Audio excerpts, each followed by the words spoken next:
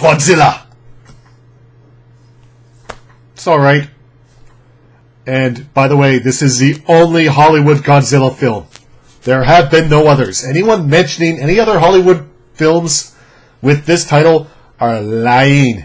Does not exist. That's a lot of fish. Go away. But yeah, it's alright. A few more thoughts after the intro.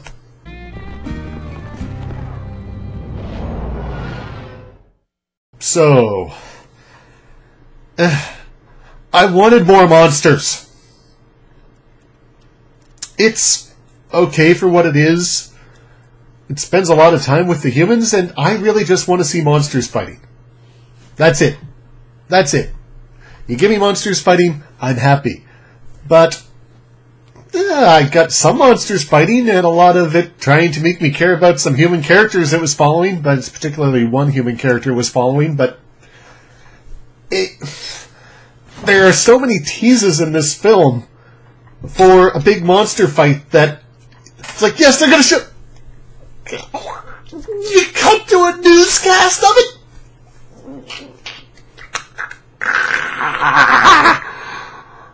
Oh, you know, you're talking about not now. You're following the humans again. I don't care. Just show me monsters fighting.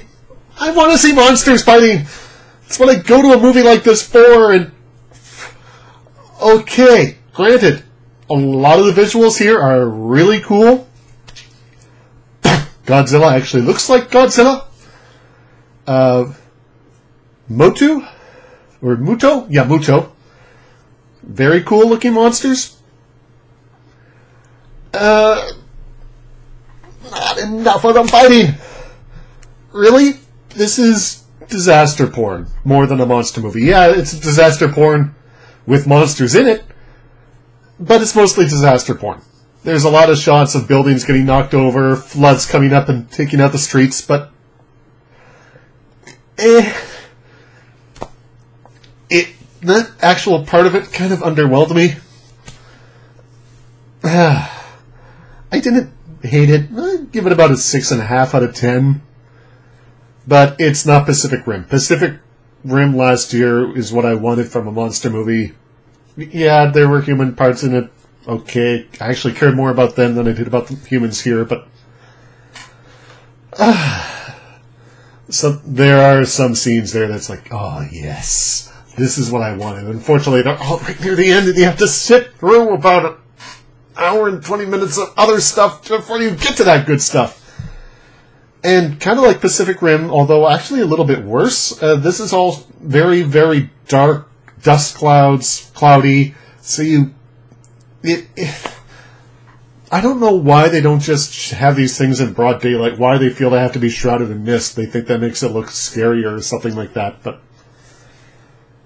uh, it's part partly I agree, but at some point you need to show them in their fullness. Show them in the daylight just duking it out.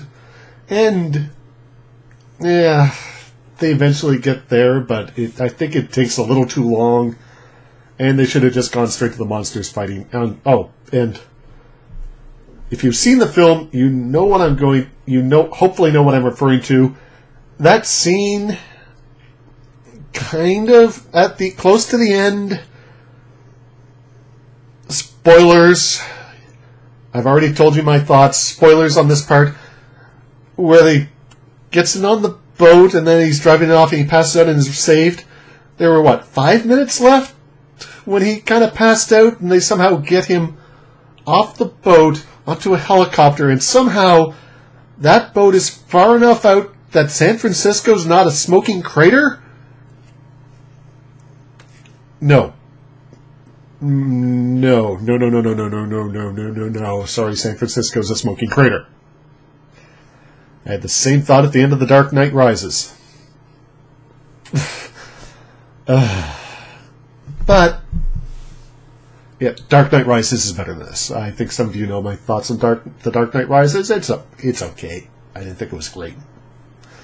This, as I said, about six and a half out of ten eh, worth a matinee or a cheap night, which is when I saw it, although granted it was AVX, so I actually had to pay a little bit more, but w- whatever. It's worth my comfort. All right. That's my thoughts on Godzilla. It's all right. See you, folks.